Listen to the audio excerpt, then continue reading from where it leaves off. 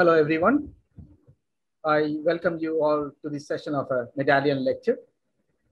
Each year, the Institute of Mathematical Statistics nominates eight medallion lectures in fields uh, across its subject range. The award of a medallion signals the honor inherent in being selected to give one of these lectures. Professor Gérard Ben Arous, the IMS is awarding a medallion lecture this year Congratulations to you on this occasion. Thank you so much. Professor Ben Arous earned his PhD from the University of Paris 7 in 1981 under the supervision of Robert Azencott. He has held faculty positions in France and Switzerland and has been at the Courant Institute since 2002. He was its director between 2011 and 2016. Professor Ben Arous's research spans probability theory and its applications, from physics to machine learning and have industrial applications.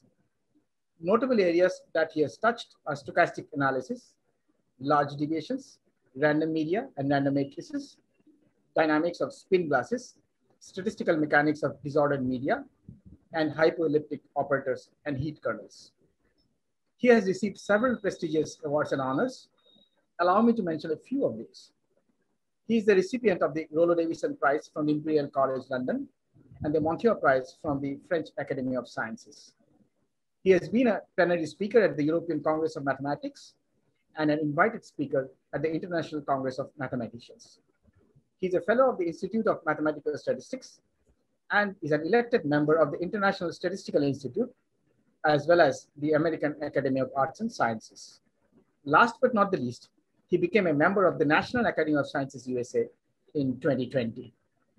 Professor Ben Arous, I now invite you to present your medallion lecture, Random Determinants and the Elastic Manifold.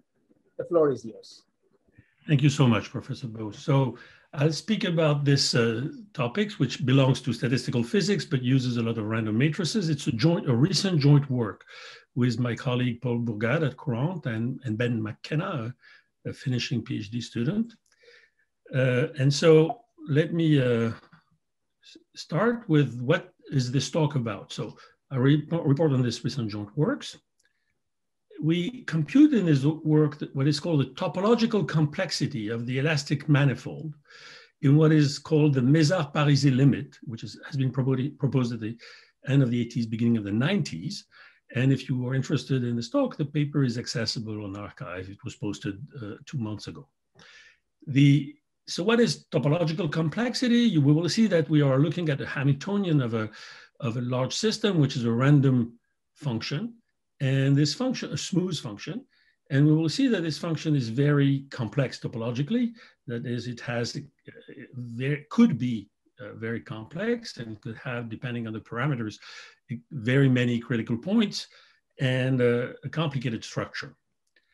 We will, in fact, by doing this, we will confirm the very recent work by Jan Fyodorov and Pierre Le Doussal a year ago about what is called the topological trivialization. This work is by Fyodorov and Le Doussal is, of course, a work in physics. We essentially, and the conjecture, what we are going to prove. And um, so what we do is we compute this topological complexity. Don't, don't, of course, I will come back to what all that means using the, the classical Kac-Rice formula, and this brings us into the world of random matrix theory. Kac-Rice is in fact a dictionary between problems of uh, random topology and problems of random matrix theory. So what random matrix theory, RMT, will contribute here is to give us the asymptotics of certain random determinants. That's the core of the proof. And we will need to have the asymptotic, the exponential asymptotics, and that is the asymptotics of the log of the determinant, and we will need to be able to do that for complicated random determinant, non-invariant one, not the usual one belonging to RMT like the GOE or the GUE or things of that nature. Things where the, the random matrix model is not invariant under usual groups.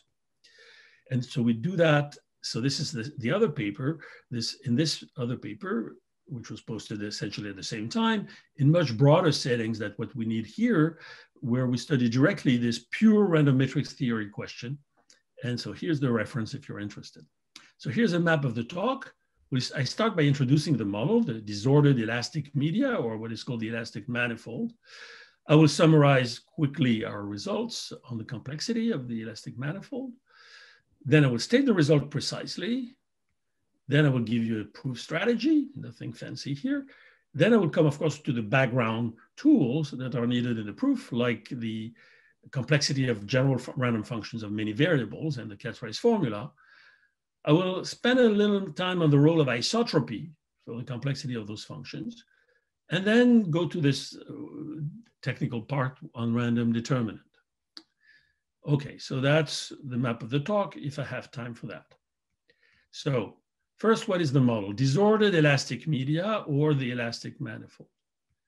So here is a quotation from Giamarchi, which has many seemingly different ranging systems ranging from magnet to superconductors with extremely different microscopic physics, share the same ingredient and can be described under the unifying concept of disordered elastic media such as an interface between um, regions of opposite magnetization in magnetic system is subjected to the effects of disorder existing in, in, the material. Especially interesting feature of all these systems is that these disordered elastic structures can be set in motion by applying an external force on them, and that the motion will be drastically affected by the presence of disorder what properties result from the competition between elasticity and disorder is an extremely complicated problem, which constitutes the essence of the physics of disordered elastic media. So for those of you who've worked on this type of physics thing, when you see physicists saying that something is extremely complicated, usually you shy away. We, we came to this problem because of the, of the work of, of uh, Jan Fyodorov and uh, Pierre Le Doussal, which we could kind of understand. Uh, so here's the model. Let me start with the, the model as physicists or mathematicians, PDE people would ask it. So in the continuum. So consider an op open subset of RD, omega, and then define the following energy function on the space of smooth function, U, which are defined on RD with value in Rn. So remember those two numbers, D and N.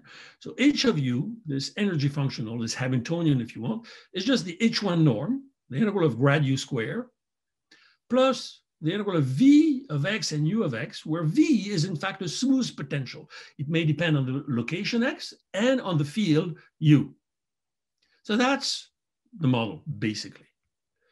Here, cl very classically, this is a very old problem going to the 19th century, you could ask about the minimization problem. Find the u's minimizing h of u under some reasonable boundary condition on the boundary of omega. So that's not what we'll do directly here. We'll try to understand the topology of this minimization problem, if you will.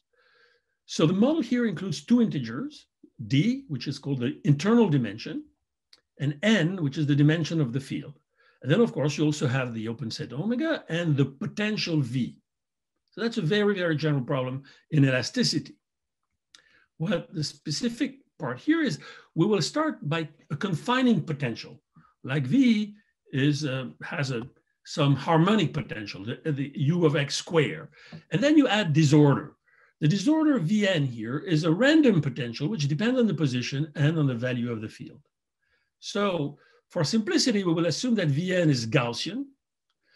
That's always simplifying, that it's smooth and centered, because that would not change much. We will assume that its covariance is isotropic and also fast decorrelation in X. So a random potential in a decent class.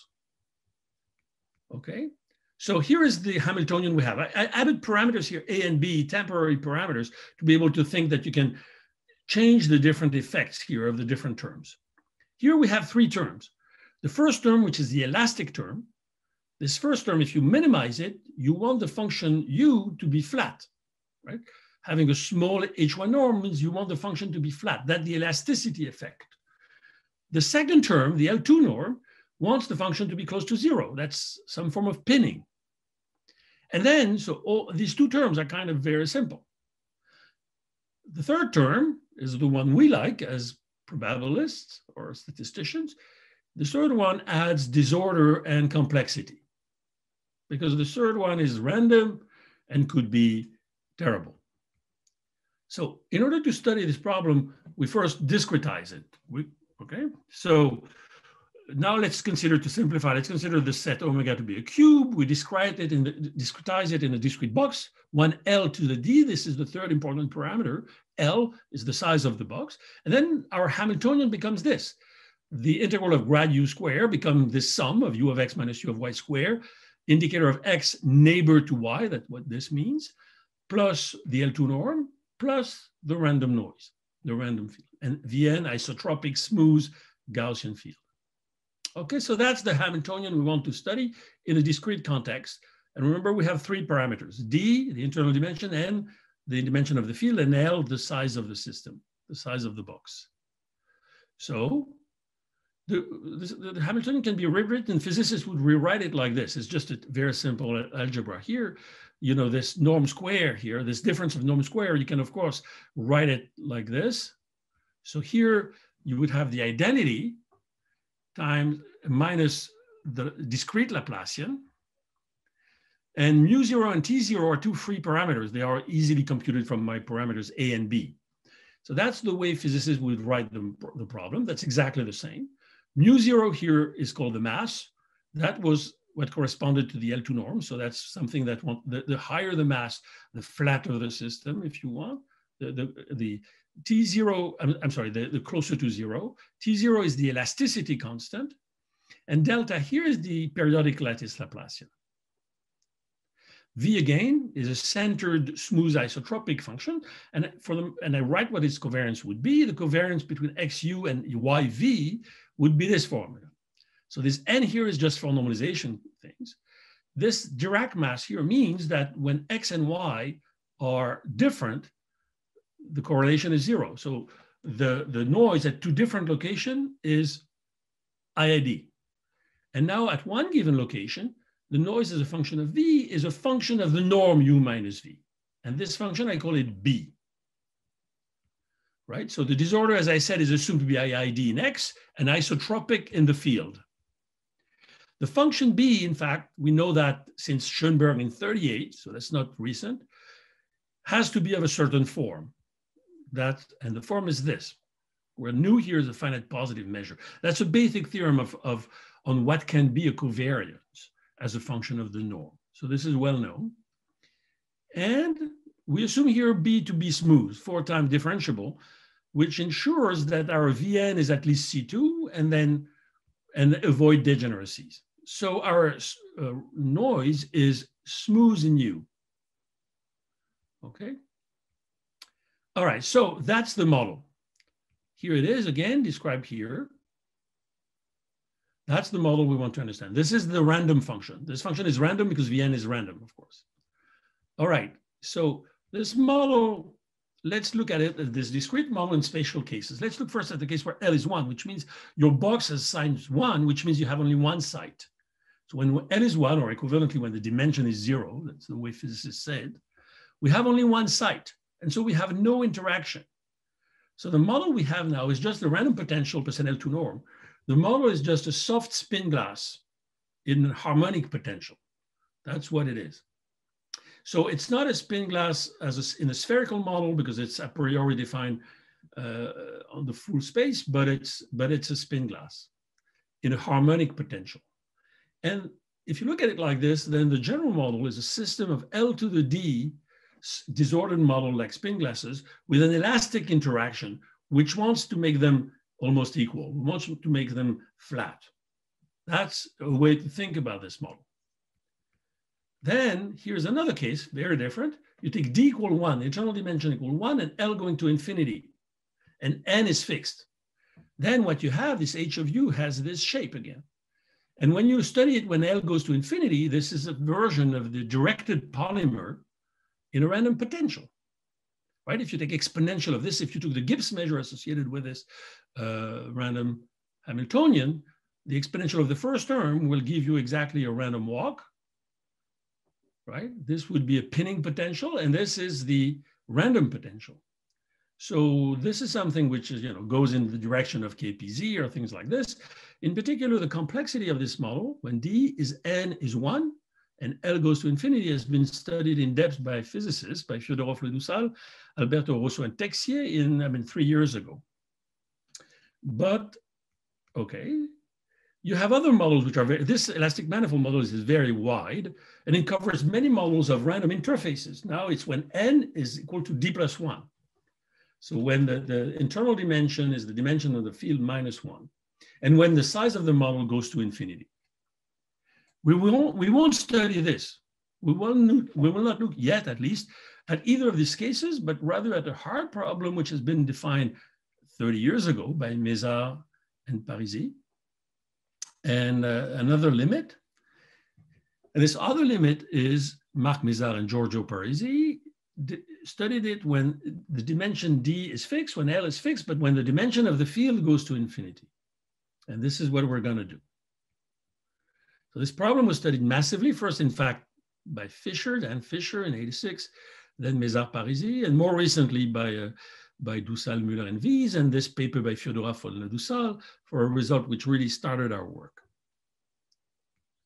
Okay, so let's now that the problem is given, let's look at what the um, uh, what what we prove. So I will first give you what we prove in a summary.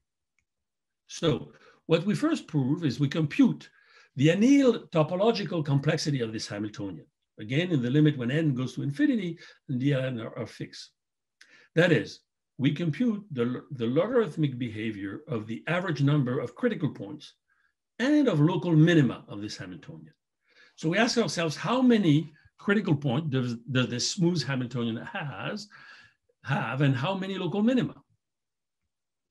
This annealed complexity problem, so it's called annealed because we compute the logarithm of the average, is given by a very complicated variational problem, which we do solve by a miracle. And solving this problem, we see a sharp transition between two regions, depending on the parameters. Our parameters here, remember, are mu zero and t zero, the mass and the elasticity. So we have a region of positive exponential complexity. That is a region where the number of critical points and the number of local minima is exponentially large in n. So this function is extremely rough, extremely complex. And then there is another region where the complexity is vanishing and the, the function is no longer complex. And so we have here a transition, which is usually called in physics topological trivialization you have a region where the topology of the landscape is very complicated and a region where, where it's trivial. And for that to happen, you need high enough mass, okay? Or to have the, uh, the uh, vanishing complexity. So we understand this transition at the critical, what is called Larkin mass, from the name of the physicist who started this question of elasticity a long time ago. And the result confirmed the recent work by Fyodorov and Doussal. So that's what we do. What we do not do yet, that's the optimistic part. So we do not compute yet the quench topological complexity. That means computing not the logarithm of the expectation, but the expectation of the logarithm, which is usually much harder. The, then the, what we do here, this complexity question is a zero temperature question. That is, it says something about the shape of the Hamiltonian, of the function. We could, of course, and that's the natural thing to do, study the Gibbs measure now, defined by this Hamiltonian. So exponential minus beta, this Hamiltonian normalized. We do not yet do that, because that would be a question at positive temperature. How does this complexity of the function influence the behavior of the Gibbs measure at positive temperature? Can we understand the phase transition for the Gibbs measure using this complexity approach, which has been done in other models? And we do not study yet the effect that was mentioned in the quotation by Giamarchi, that is the effect of a force to get a pinning, what physicists call pinning, depinning transition from this random manifold. And what he was mentioning about the effect of disorder pinning this random interface. And of course, we even less understand how depinning would happen dynamically. The question he was asking here was static, it was about equilibrium. Understanding the dynamics at high enough force would, would also be hard and, and very interesting. And least, last but not least, we do not yet study the other limits, not the one when the Mézard-Parisi limits, but the other limits I was mentioning. So there's a lot for those who are interested in this topic and who want to try to help us in this enterprise. So let me state our, our result properly now. So let me call n tot the total number, that's what tot means, of, of all critical points of the elastic manifold Hamiltonian H of u. Then what we prove is that the anneal complexity, so the limit of 1 over n, L to the d, logarithm of this expectation of the total number is given by a certain formula. Sigma is a function that I will describe. It's a formula of three things, the three important parameters, mu zero, the mass, that's the strength of the elastic, uh, of the L2 norm, I'm sorry. T0 is the elastic constant, the strength of the H1 norm. And 4 B second of zero is in fact the strength of the noise. It's the variance of the noise, if you, if you remember the formula. So that's the strength of the noise, the elastic constant, and the mass.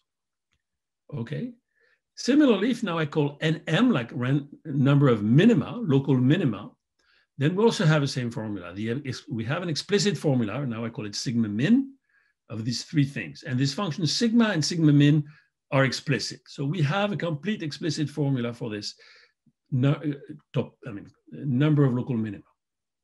So here is, are these explicit formula. They are a bit painful. So consider the, so first we look at the following real symmetric matrix. mu zero times the identity minus t zero times the discrete Laplacian. Very simple matrix with mu zero on the diagonal, negative t zero around the, the diagonal. Right, so it's a real symmetric matrix of size L to the D. And I call it D, and it depends on the two constants. And then I can look at its spectral measure, which I call mu, which is 1 over L to the D, sum of the Dirac masses at the eigenvalues. Of course, the eigenvalues of the discrete Laplacian on a large cube, here we use periodic boundary condition, are extremely easy. We all know them.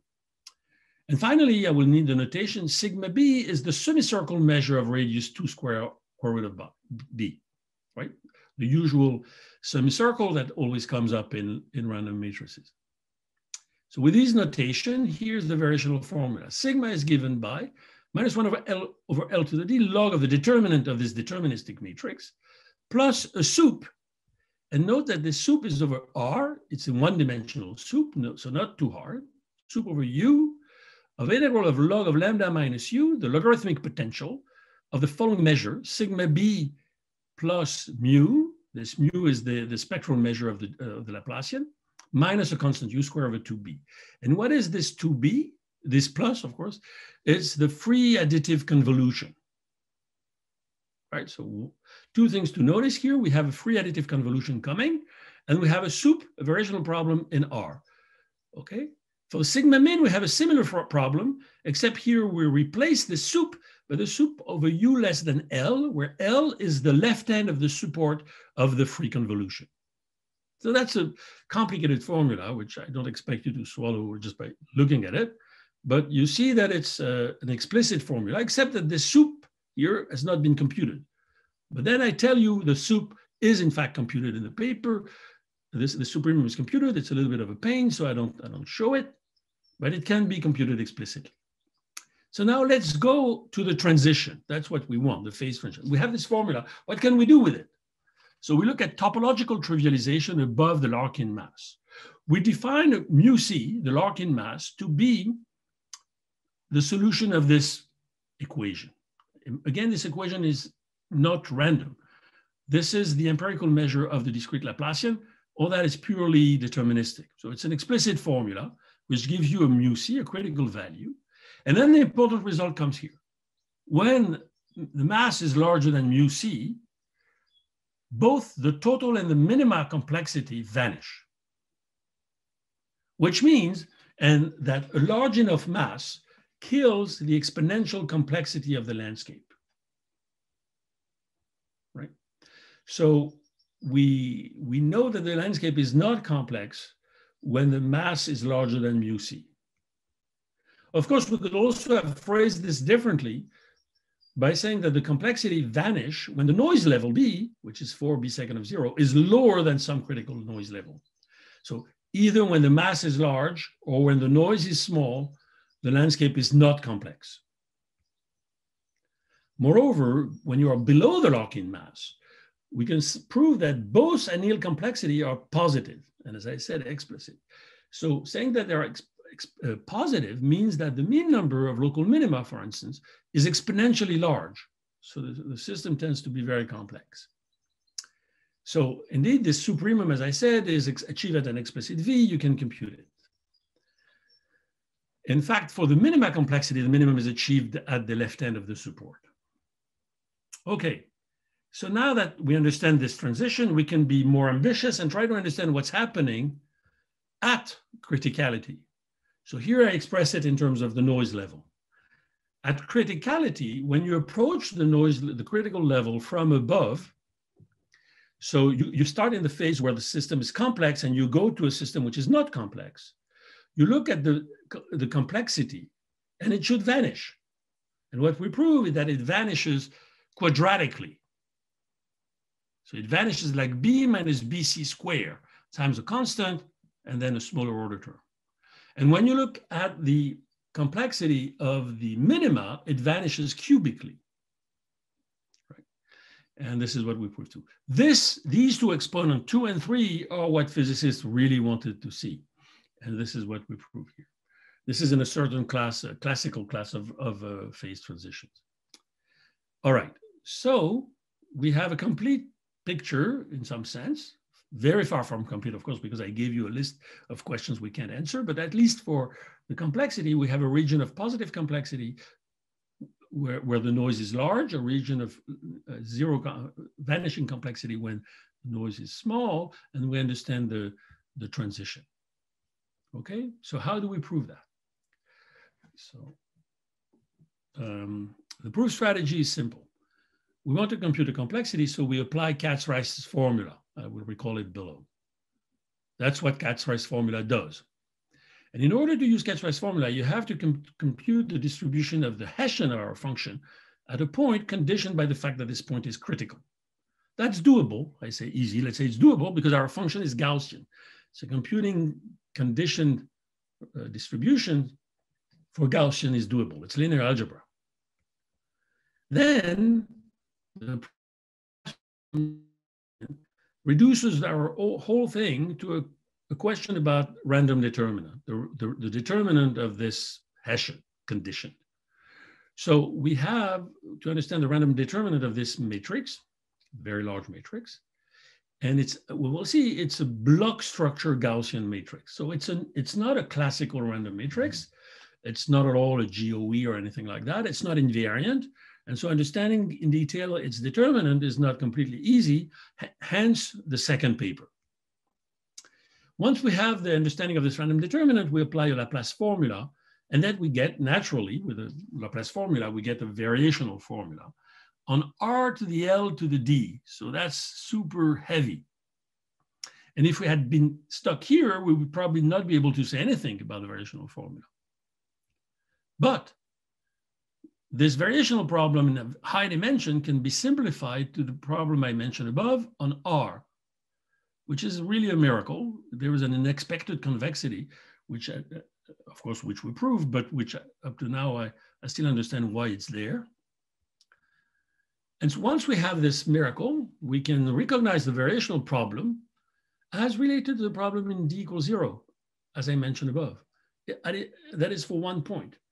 This problem at one point now will also be a spin glass model. It will be a soft spin, but not like before, a soft spin glass in an isotropic potential, it will be a soft spin glass in an anisotropic random potential. And so we have to understand this one. So we understand this spin glass problem, and I'll, tell you, I'll tell you below. And from there, we deduce all the results of the topological complexity and the topological, topological transition that I mentioned for the elastic manifold. So that's the nature of the proof. So now I take a, a breather and come back. So the, essentially at this point, I've given you our results, uh, first in a summary, then in detail, and then told you how we are supposed to prove it. Uh, and now I, I, I, dive into the tools for the proof. So the first tool, of course, is the Kac-Rice formula. Kac-Rice formula, which uh, uh, of course started in dimension one, started in, in statistics, in fact, in electrical engineering for Rice and then extended by Kac, essentially because Kac had problems in dimension two coming from complex analysis. And this goes back, I mean, Rice did it during the, the First World War, the Second World War, essentially, so a long time ago. And recently, we have been applying the Kac-Rice formula in diverging dimensions. So let me explain what that is. Let's consider a smooth function f on a compact manifold M of large dimension n. Assume that every critical point is non-degenerate, just to simplify matters, so that the function is what is called a Morse function. Then the function has a finite number of critical points if you are on a compact thing. And then you want to count this number of critical points. And you may want also to count the number of critical points of, let's say, a given index. For instance, you may want to count the number of local minima, which means index equals zero. You may also want to fix a range for the critical values, not the critical points. All that can be done. And in particular, in the context of statistical mechanics, F will be an energy or Hamilton energy or Hamiltonian, like our function H. And we want to count the number of local minima, typically with low values because they are the ones that are important at low temperature. Of course, in, in, in regimes for, let's say, high dimensional statistics, F could, for instance, be a log likelihood. And then you could try to apply the same thing. And of course, it has been done in a few problems of high dimensional st statistics. You may be also interested in the topology of the sublevel sets, the sets of X where F is less than U. So Let's call crit k the number of critical points. Here is Kac-Rice formula of f. The number of critical points of index k, so local minima is zero. And by crit k of f and b, the number of critical points of index k was the value of f in b, where b is a subset of the real line. Assume that f is Gaussian, non-singular, and smooth enough. And here's Kac-Rice formula. The expectation of this number of critical points is given by an integral in n of two things, ak and phi x of zero. Phi x of u is the density of the law of the Gaussian vector grad f. So phi x of zero is the density at zero of the law of the Gaussian vector, which is natural because you're interested in critical points. And now the important term is this ak. ak is the expectation of the absolute value of the determinant of the second derivative of f, the Hessian, indicator of f of x in b, the value in b, indicator that of the index of at x is k, conditioned by the fact that the point x is critical. So this is the important formula.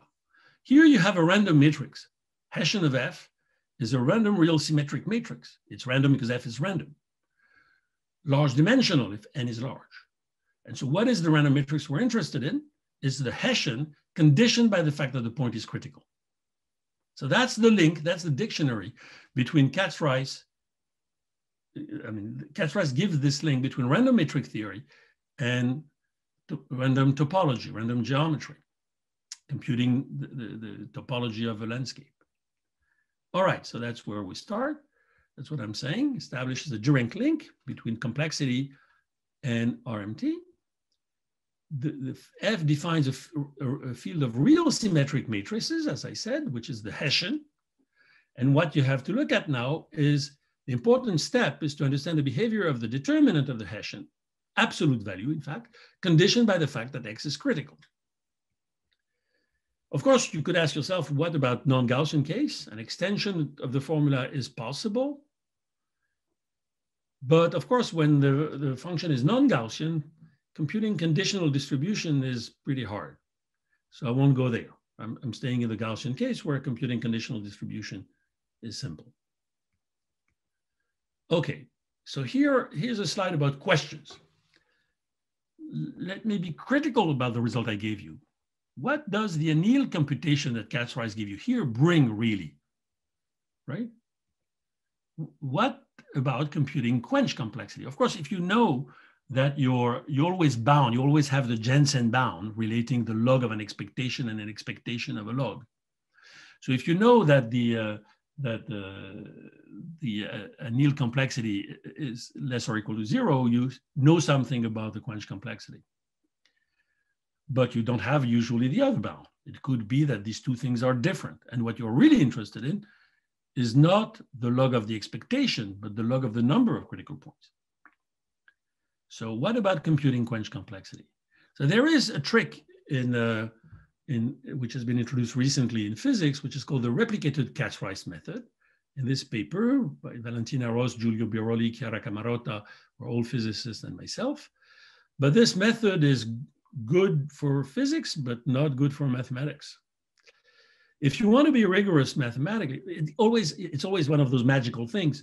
It gives the right result, but we're far from being able to prove it. If one wants to be rigorous mathematically, for the moment, there is one tool which is rather blunt. It's you can, using Kac-Rice, you can compute higher moments of the number of critical points.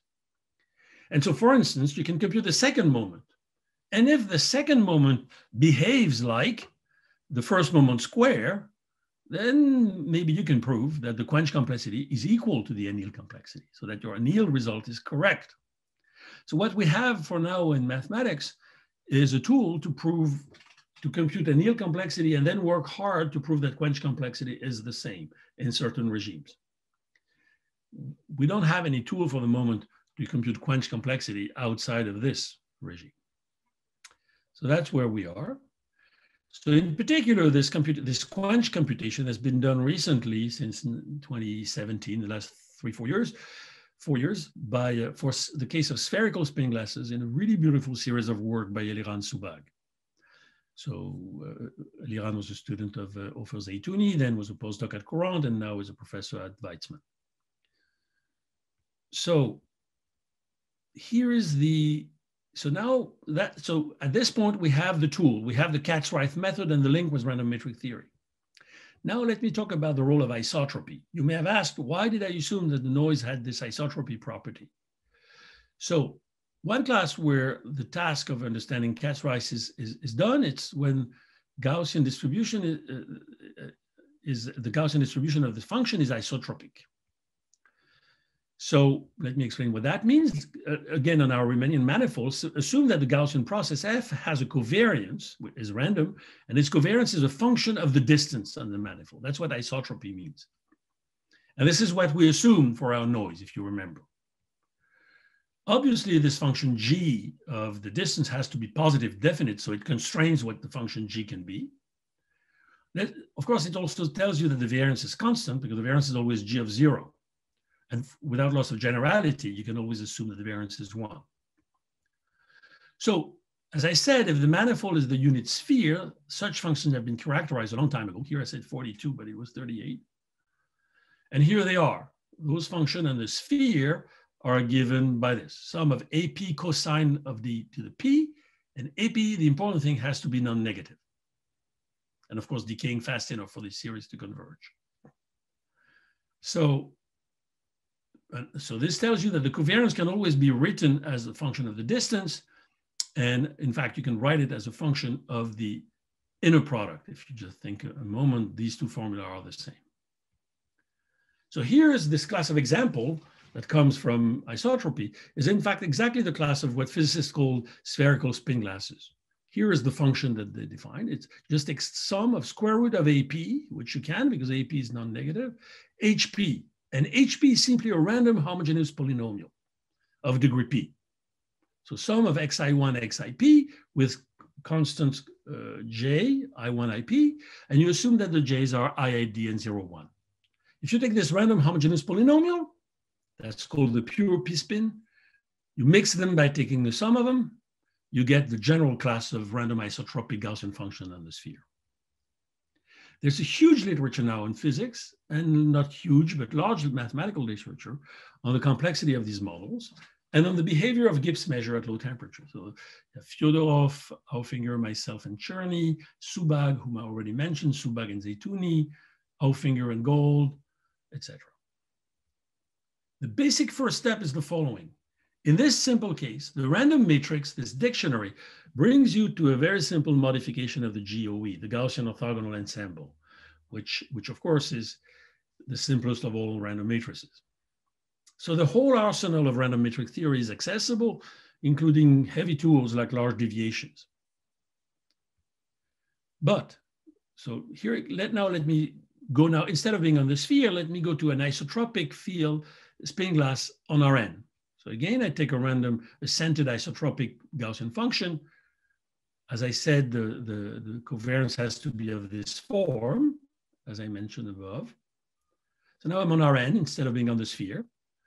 And I put it in a harmonic well to come close to our model. So again, it's now the question of just one site. And so this is a soft spin glass in an isotropic well.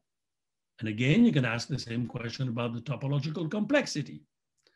So the anneal complexity has been studied in depth by Fyodorov in the 2000s. Of course, you could see Mézard and Parisi for a physics motivation.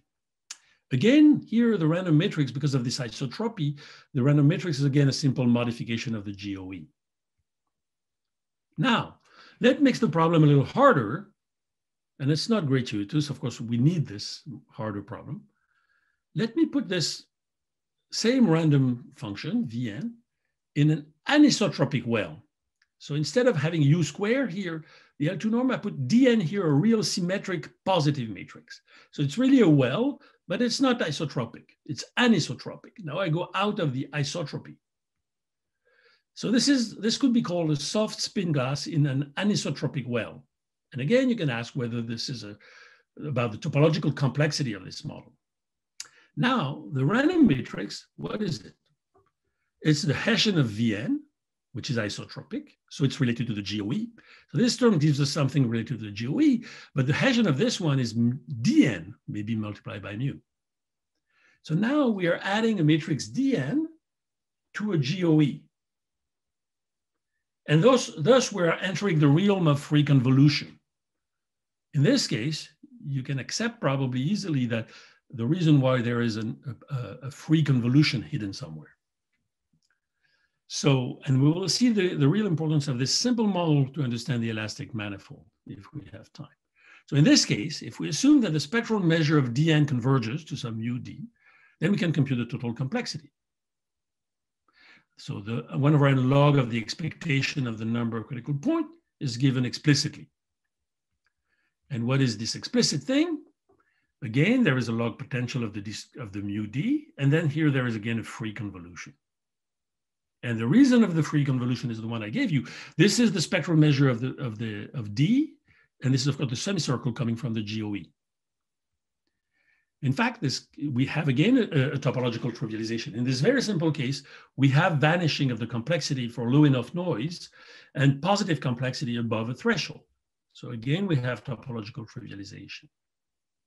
All right.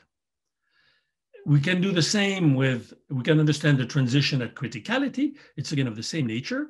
We can understand the complexity of minima and the topological transition is at the same value, but is again cubic.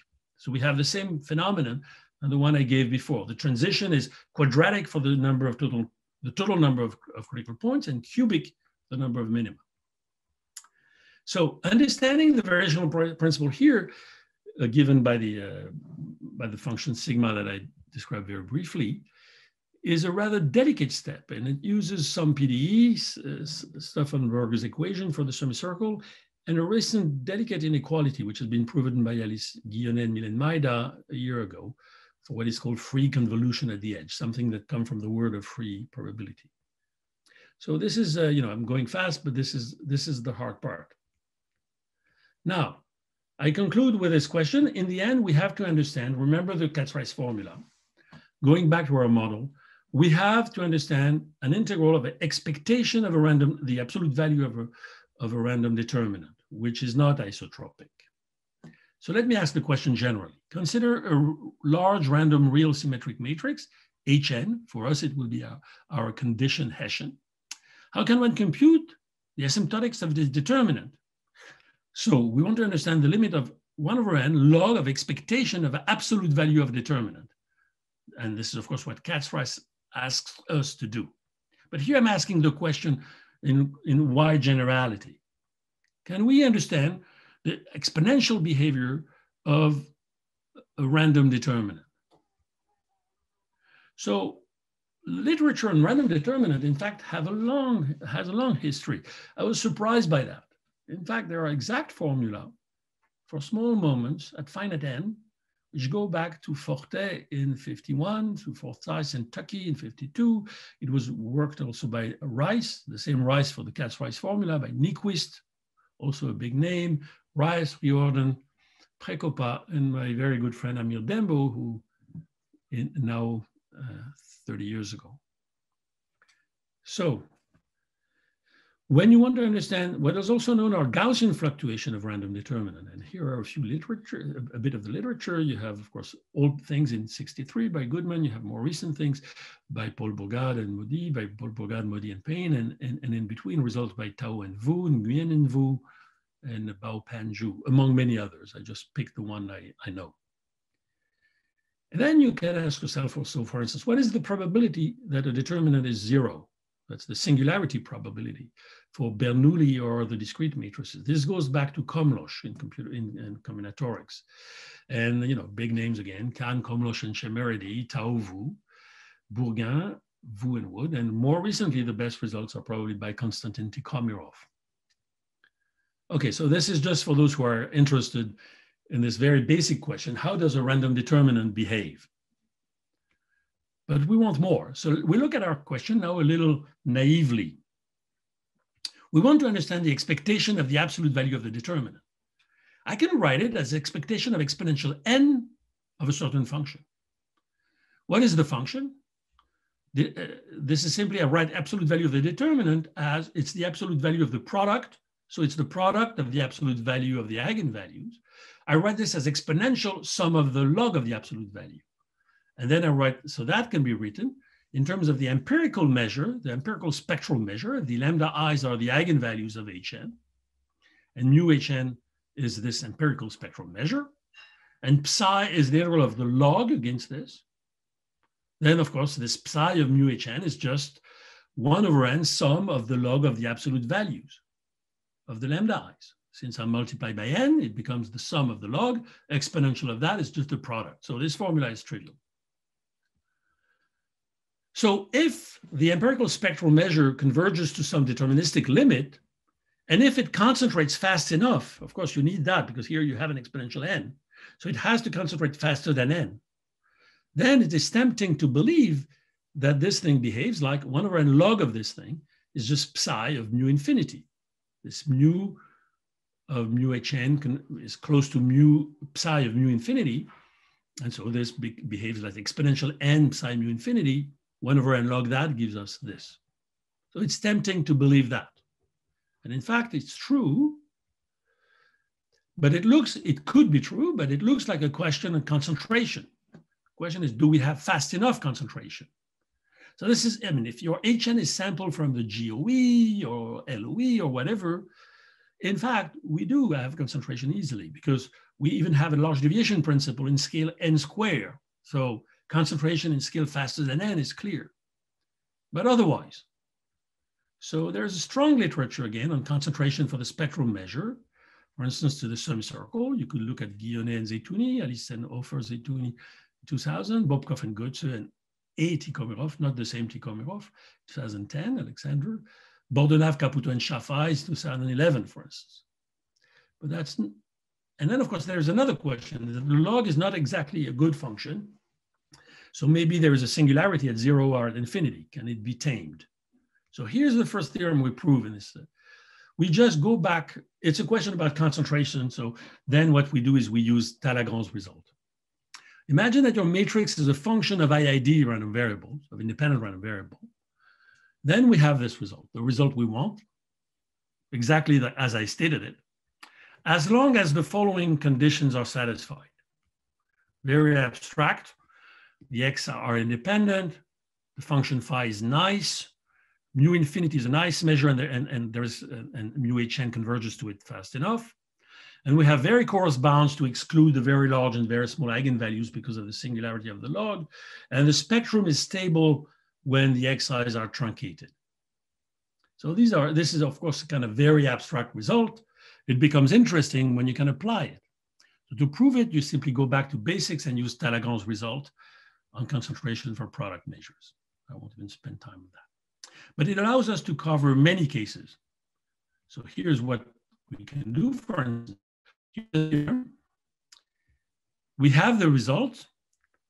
Uh, so here I added an E here, which just so that I'm talking here about the characteristic polynomial, but it's of course the same problem.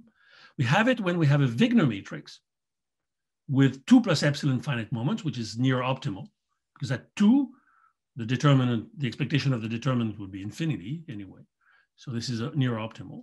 We could take sample covariance matrices with 2 plus epsilon finite moment, near optimal again.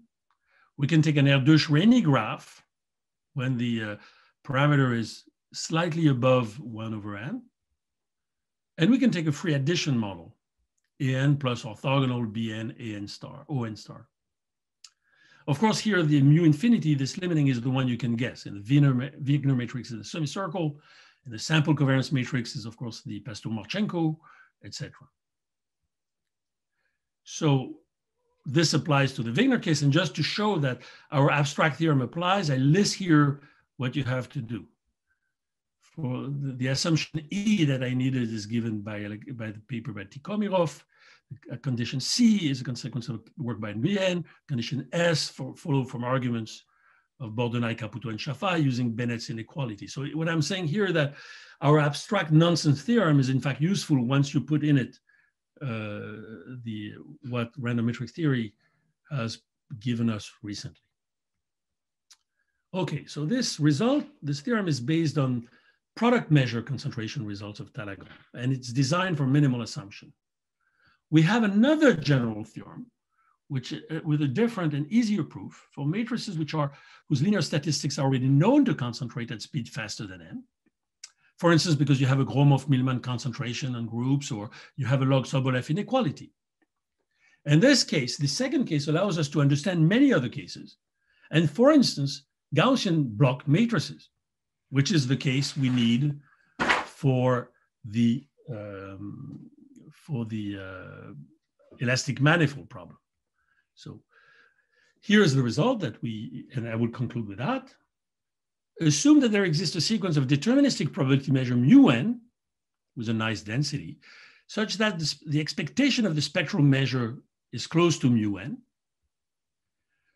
and that the linear statistics, one over n trace of f of hn for a large class of f, concentrates fast enough. Then we have the result that the limit of what we want here, 1 over n log of the expectation of the, pro, the absolute value of the determinant, minus the interval of log L against this mu n goes to zero. So you see here, we don't have a limit theorem directly. We have the fact we have this contiguous thing. We, we say, if we have mu n that satisfy this, then we can replace our problem here by just understanding the mu n's. So this theorem is valid, for instance, when Hn is Gaussian, but not GOE, not IID entries with a certain covariance profile, or Gaussian with a good block structure, for instance, this one. And this is what we will use. And here, the only question is, how do you find a mu n in those cases? And the mu n comes from a whole chapter of random matrix theory, which is called MDE, the matrix Dyson equation, which has been developed recently by Erdős, uh, Laszlo Erdős, of course, in Vienna, and his collaborators. And so we've been, at some point, we've been helped by the Vienna team and we could adapt their, their work to do that for the case we want, which is the elastic manifold. In particular, the matrix has k blocks. You look at this solution for those who want to try, and here is how you choose the mu n. It's the mu n which whose Stieltjes transform is given by that. So this is purely technical. Let's forget that. So with this theorem, we can understand the uh, the asymptotics of the determinant of our Hessian and thus prove, use the Kac-Rice formula to prove our complexity results. And I will stop there.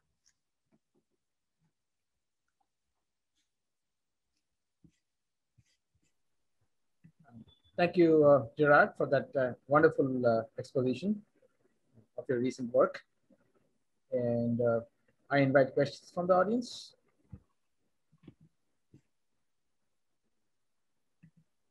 Any questions, comments?